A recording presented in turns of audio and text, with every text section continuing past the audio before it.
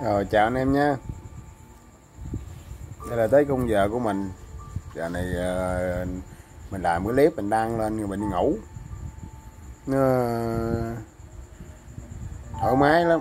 Là như mình nói ờ, để chia sẻ này nọ, nói chuyện với anh em mà rất là vui. Bởi nó trong cuộc sống này, cho đi á, thì lấy lại nó rất là nhiều. Mình cho đi những gì mình hiểu biết, Mình lấy lại được tình nghĩa anh em, Tình cảm của anh em đối với mình nếu mình nó rất là vui.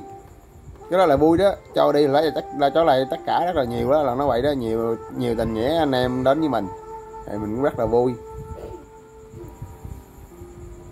Thì uh, mấy ngày nay của anh em cũng bình luận vô hỏi mình cũng coi mình kiểm tra bình luận nhiều lắm.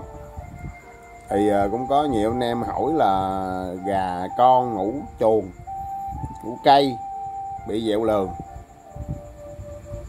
Thì cái này là ai cũng quan tâm ở trên mình nói thiệt, cái mà cái con gà dẹo lường á. Là anh quan tâm tại sao mà một khi con gà bị dẹo lường á, cầm vô rồi mà đổ cái con gà, nhìn cái mặt mày dáng tướng cán, rất là ok luôn mà cầm vô cái lường quẹo ne. Rồi là thấy rầu rồi. Con gà dẹo lường là không phải ngủ cây đâu. Cái lúc mà anh em á nó là con gà dẹo lường ngủ cây nó bị dẹo, thì mình nuôi gà nói chung hồi đó mình nuôi trong nhà. Rồi mình cũng có gác đồ cho ngủ gác cây cho ngủ. Với mình gà vô giường mình nuôi từ nhỏ tới lớn lớn mình đem đi bình thả. Thì mình bắt lại mình quan sát này nọ. Thì nó không có liên quan dẹo lượng hết. Nó không có liên quan. Cái con gà dẹo lượng á, là cái lúc mà gà con nó mới lớn nó hình thành con gà. Nha mình nói là nó vậy. Nó hình thành con gà rồi cái lúc mà cái lường con gà là cái lườn khúc đó, đó là chỉ là sụn thôi anh em. Sụn chứ không phải là xương. Xương nó nằm ở trong á. Cái lớp ở trong trên này mới gọi là xương này tú ở trong xương á. Còn cái lớp mà đưa tốt ngoài đây hỏng xuống đây là cái đó là chỉ là cái sụn thôi chứ không phải xương. Thì anh em mổ gà ra anh em màn thịt anh em ăn đó anh em cũng biết là cái đó là nó sụn chứ không phải xương. Sụn thôi nhưng mà chích thuốc đó, mình chích cái mũi kim, cũng trúng vô là cái đó mình cũng chích được. Nó dính mũi kim thì cái đó là kêu là sụn chứ không phải xương. Con gà ngủ cây ngủ chuồng, nó không bị dẹo lường. Thì nhiều người nói là con gà ngủ cây sớm quá, nó bị dẹo lường. Rồi mình nói cho anh em hiểu nó gì mình phân tích cho. Cái à, con gà dẹo lường á, thường là con gà bị nổi trái nó nổi trái á kêu nổi trái nổi trên đầu trên da trên đồ. Mà con nào nổi với cái mình á đảm bảo anh em bị dẹo lường.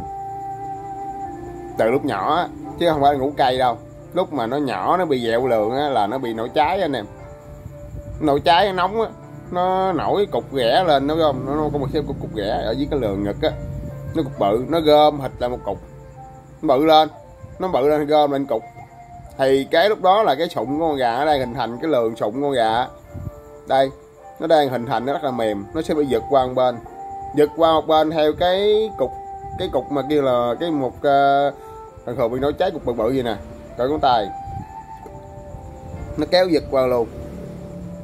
Tùy theo một một, một nhỏ một bự thì nó thời gian vài ngày nó sẽ rụng cái một cái cái mục đó đi. Đó. Đàn gà bị nổ cháy nếu mà nổi trên đầu không không sao. Mà nổi với mình, nổi hộp nào với mình là 10 con mình để ý rồi nha. 10 con hết, chín con bị dạo lường, cái kiểu đó đó. Đó là kiểu phân tích của mình nha.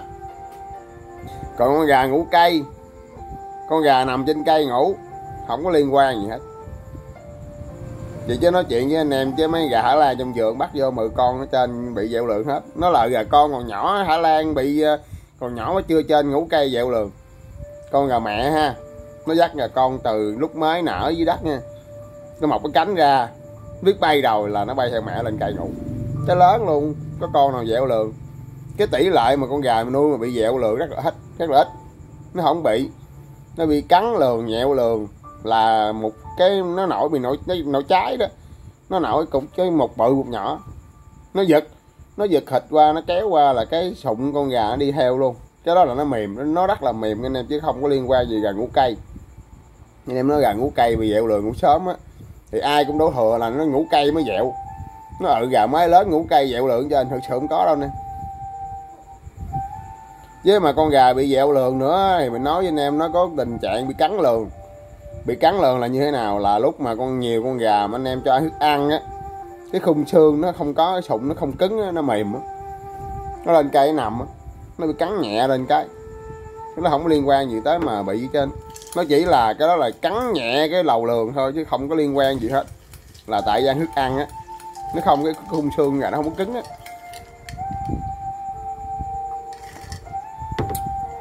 Kêu cắn nhẹ đầu lường. Là nó bị cái đó thôi là nó nằm nó sung xương nó còn sụn nó chưa có cứng á. Nó không có cứng á. Nó nằm nó bị, bị móp nhẹ lên cái. Còn bị dẹo này nọ là sự da bị nó trái nghe nè. Chứ không có liên quan gì hết bởi anh em nuôi gà mà anh em cái suy nghĩ nó ừ nuôi con gà cho lớn cái ẩm lên con nào dẻo lường dẻo lường tại sao lại có trường hợp là hai con bị, ba con bị nguyên một bầy gà, đợt gà để bị nó trái chầm lum ở trên rồi sao biết? Tại thường gà nhỏ anh em đó biết. Tại vì mình đã biết rồi, cái nguyên nhân mình mới dám nói với anh em là nó bị, tại sao là dẹo lường tại gà nhỏ mình cầm mình biết nha anh em. Nó bị dẹo lúc còn nhỏ á, mình lúc mà nó bị nó trái em lum la, thời đó mình không biết sức á cái mình ẩm vô. Nó bị dẹo, lum la với cái từ từ, cái mình ẩm vô, mình câu nó rút gà, nó sẽ bị rút. Con gà nổi trái nó sẽ bị rút, nguyên bầy nó, điển bị nổi trái nó gặp phải rút rồi. Nó khô, nó rút, nó nổ lên cục cục cục thịt á. Nổ lên da là thịt luôn á. Đó, nó nổ lên đầu, rồi cổ, rồi nó nổ lên cánh, rồi nó nổ lên, nó nổ với cái ngực gà lường á. Bà, cái lường là đa số sẽ bị. Tại vì sao? Tại vì nó là sụn. Còn mà nổi trên đầu, trên trên giò này nọ là chỉ là xương nó không có bị được. Đó thì đó là cái nguyên nhân tại vì mình bắt cái bầy gà con mình lại lúc nào đó lâu rồi. Là mình cào mình biết. Lúc mà nuôi bự bự vậy nó không bị hết. Lúc bị nổi trái con gà nó rút lại. Con gà mấy con gà nó sẽ bị rút. Không có con gà nào mập đâu. Nó bị nổi trái nó bị rút. Thì mà cái đàn gà bị nổi trái á, thì ra tiệm thú y nó cũng có bán thuốc nó bán thuốc cho mình về mình sức với mình nhỏ con gà. Thì ờ, thường mà bị nổ trái là vào cái mùa hè nuôi gà mùa hè là dễ bị nổ trái nắng nóng nắng nóng. Với uh, tình trạng anh em nuôi uh, mật độ gà nhiều đó, nóng quá nó dễ bị lắm nè không phải là đang nóng cái mưa xuống cái gà bị nổi trái nè nó rút gà. Nói chung là bị nó trái gà nó rút dữ lắm nó khô con gà mà anh em đi đi tội nghiệp. Nổ lên cánh rồi nổ lên tại sao là nó không bị mấy khác? Nó nổ ngay cái mỏ con gà đi cái mỏ quẹo luôn. Mình nói với anh em mỏ quẹo thường thường nó gà mỏ chiếu á là không phải đâu. Nó bị nó nó bị nổ trái á, nó giật cái mỏ á. Thì đó mình giải thích cho anh em lý do tại sao con gà bị dẹo lường. Thì anh em xem đi. Đây là những cái mà cái cách nuôi gà mà kêu không phải khoa học nữa nó chung nói chung là nói chung là mình để ý mình biết. Thường thường nó gà mỗi chiếc mỗi quẹo đó sợ không phải đâu nó mỏ tại vì tại sao cái mỏ bị quẹo luôn? Cái mỏ con gà vẫn là sụng cái mỏ con gà nó là chất sụng nó như móng tay mình vậy nè ơi như móng tay mình là chất sụng đó.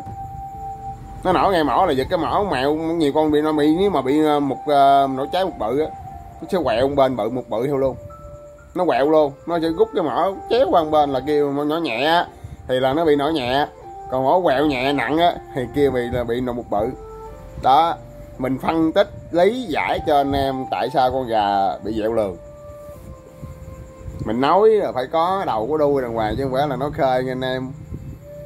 Thì anh em nuôi gà, anh em để ý, anh em biết. Ở anh em để ý đi, con không con gà nào mà lên cây ngủ mà dẹo lượng trên á. Trừ khi cái đàn gà nó bị nó cháy thì nếu mà gà bị nổ cháy á thì nói chung cũng có cái cái mấy cái cách của mình. Là GMB á. Đây lấy GMB rồi đây cái GMB nè. Mấy GMB cái anh em bẻ ra anh em ờ, pha với nước á quậy đều lên rồi anh em lấy một bông tâm anh chấm vô mấy cái chỗ mình nổ cháy á. Nó đậu á thì nó sẽ khô nó không có bị uh, nổi nữa. Rồi mấy thì anh em uh, lấy nghệ với cột 90 á ngâm á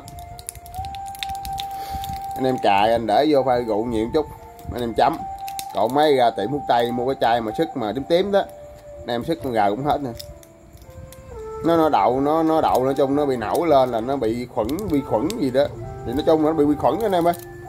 Y như mà người ta bị bệnh ờ, bệnh chàm bệnh lăng ban, bệnh lát này nọ, cũng già nó cũng bị chen vậy thôi.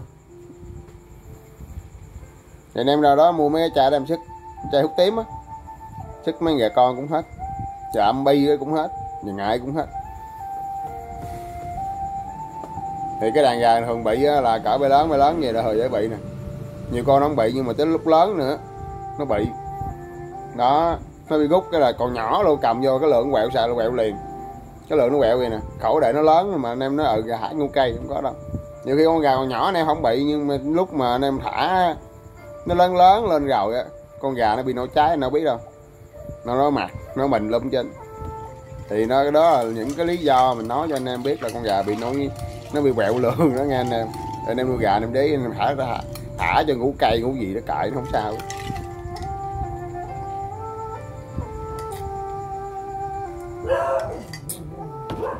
Gà nuôi dẹo lường là chỉ bị bị nổ cháy thôi. Không có lý do nào mà ngủ cây bị hết. Đó là nhiều anh em thắc mắc.